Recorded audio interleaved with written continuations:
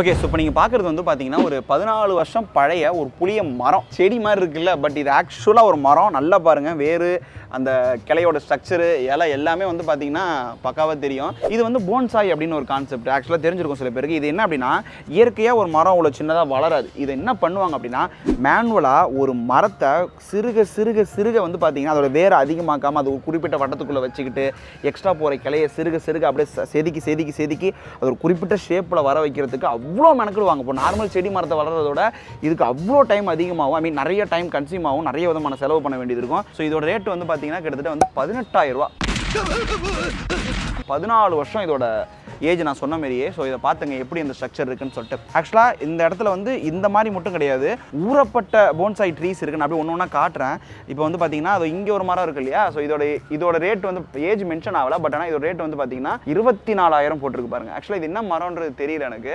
S இது வந்து அரச மரமாக நான் இங்கே சரியாக கவனிக்கல. ஸோ இது வந்து பார்த்தீங்கன்னா இருபத்தி நாலாயிரம் அந்த மரத்தோட ஸ்ட்ரக்சர் கீழே இருந்து அந்த வேறு போகிறது அது எல்லாமே எப்படி அழகாக இருக்குன்னு பாருங்க. நான் அப்படியே ஒன்று ஒன்றா அப்படியே உங்கள்கிட்ட காட்டுறேன். இது எனக்கு தெரிஞ்சு இந்த டோட்டல் இதுலையுமே வந்து பார்த்தீங்கன்னா அதுவும் இதுவும் தான் வந்து ஒரு ஃபுல் ஃப்ளெஜ்ஜாக வரந்த மரத்தோட மினியேச்சர் சைஸ் மாதிரியே இருக்குது இது வந்து ஆலமரம். இதோட ரேட் என்னென்னு யூஸ் பண்ணி பாருங்கள் எழுபத்தஞ்சாயிரம் ரூபா ஏன் அப்படின்னா அந்த வேலைப்பாடுகள் தான். உட்காந்து ஒன்று ஒன்றுத்தையும் செதுக்கி செதுக்கி செதுக்கி செதுக்கி அத்தனை வருஷம் மெனக்கிட்டு வந்து பார்த்தீங்கன்னா செய்யணும். அண்ட் இதில் இன்னொரு விஷயம் இருக்குது நம்ம இந்த மரத்தை தான் வந்து பார்த்தீங்கன்னா மாற்ற முடியும். அந்த மரத்தை தான் மாற்ற முடியும் கிடையாது. நீங்கள் எந்த மரத்தை வேணால் மாற்றலாம் எல்லாத்துக்குமே என்னென்னா மெனக்கிட்டு கொஞ்சம் கொஞ்சமாக செதுக்கி செதுக்கி நம்ம அதுமாரி பண்ண வேண்டியதாக வரும்.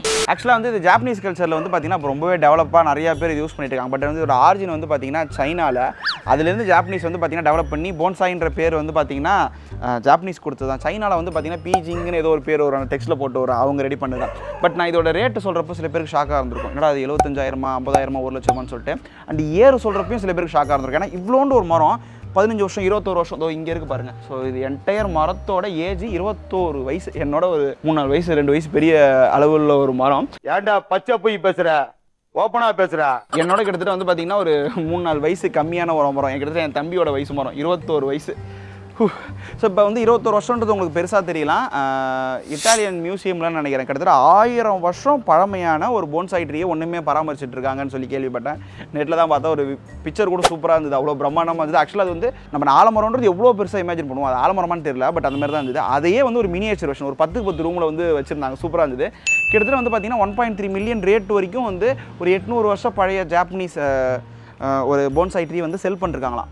ஒன் பாயிண்ட் த்ரீ மில்லியன் கணக்கு வச்சிங்க ஸோ இப்போ இங்கே நம்ம ஐம்பதாயிரம் எண்பதாயிரம்ன்றது. ஏன்னா இதோட அவுட்புட் வந்து நம்மளுக்கு வந்து மரம் அதிகமாக இருக்குது கார்பன் டை ஆக்சைடு அதிகமாக வந்து உள்ளே எடுத்துகிட்டு ஆக்சிஜன் அதிகமாக கொடுக்கும் அப்படின்லாம் எதுவுமே கிடையாது. முழுக்க முழுக்க ஒரு ஹியூமன் ரொம்பவே கஷ்டப்பட்டு ஒரு நுணுக்கமாக செஞ்ச ஆர்ட்டோட வெளிப்பாடு. அவ்வளோதானே தவிர வேறு எதுவும் கிடையாது. அண்டு இதை பற்றி இன்ட்ரெஸ்டிங்காக பார்க்குறப்ப வந்து பார்த்தீங்கன்னா ஜாப்பனீஸ் கல்ச்சரில் அதிகம்னு சொன்னதுனால ஹிரோஷிமா குண்டு வெடிப்பு நடந்தப்போ வந்து பார்த்தீங்கன்னா ஒரு போன் சைட் அங்கேருந்து ஒரு ரெண்டு மூணு மைல் பக்கத்தில் இருந்து சர்வே ஆயிருக்கான் உயிர் பொழைச்சிருக்கான் ஏன்னா அந்த இடத்துல எவ்வளோ பவராக இருக்கும்னு உங்களுக்கு தெரியும். அந்த இடத்துல சர்வே ஆகி அது ஒன்றுமே வாஷிங்டன் டிசியில் வந்து ஏதோ ஒரு அமைதிக்கான ஒரு இதுவாக எதுக்கோ ஒன்று வந்து வச்சிருக்கேன்னு சொல்லி சொன்னாங்க. அதை பற்றி டீட்டெயில் பெருசாக பார்க்கல. பட் ஆனால் அது ஒன்றும் இருக்குது ஹிரோஷிமா அந்த வெடிகுண்டுலேருந்து தாங்கி ஒன்றுமே இருக்குது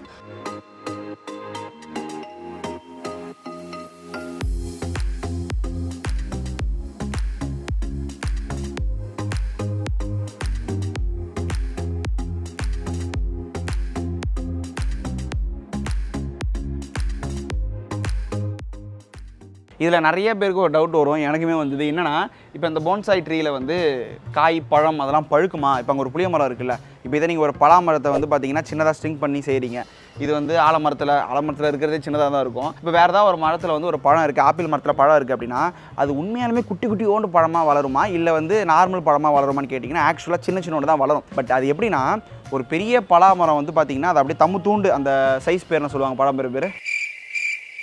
அப்படியே ஒரு பெரிய பலாப்பழம் வந்து பார்த்தீங்கன்னா துரியன் பழம்னு சொல்லுவாங்கல்ல கன்னியாகுமரியில் இருக்கும். அந்தமாரி ஒரு சின்ன பலாப்பழம் சைஸ் மாதிரி மாறாது. சிம்பிளாக எப்படின்னா இப்போ ஒரு ஆப்பிளே எடுத்து ஒரு ஆப்பிள் வந்து பார்த்தீங்கன்னா இவ்வளோ பெரிய ஆப்பிள் இருக்குது நார்மல் மரத்தில். அதுலேருந்து நீங்கள் ஒரு ஒரு அதையோட ஜீனியை எடுத்து நீங்கள் வந்து விதையை எடுத்து நீங்கள் ஒரு போன் சைட்ரியாக மேக் பண்ணுறீங்கன்னு வச்சுங்களேன் அது வந்து ஒரு ஒரு இருபதுலேருந்து தேர்ட்டி பர்சன்டேஜ் வந்து கொஞ்சம் சைஸ் சின்னதாக இருக்கும். ஏன் அப்படின்னா அதுக்கிட்ட வந்து நிறைய ஃபோட்டோ பண்ணுறதுக்கு இலை கிடையாது.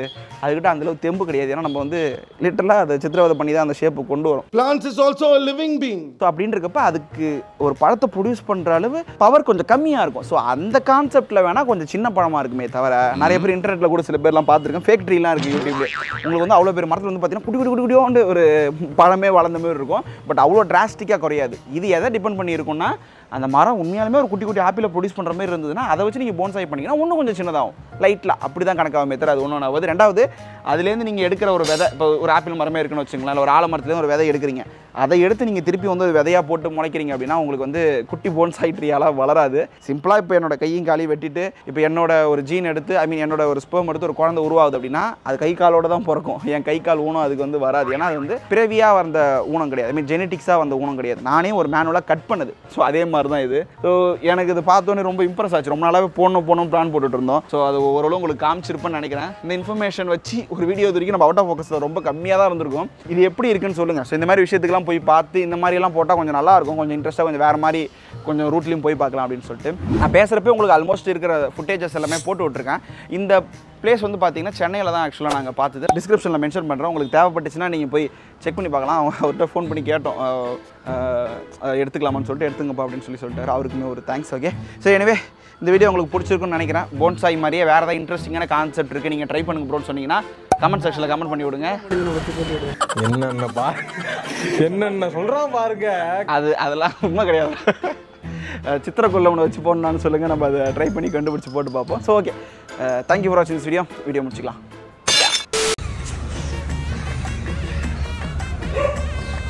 என்ன பண்ற? போகிற இந்த இளமைய யாராச்சும் தடுக்க முடியுமா? இந்த கௌசிக் வந்தா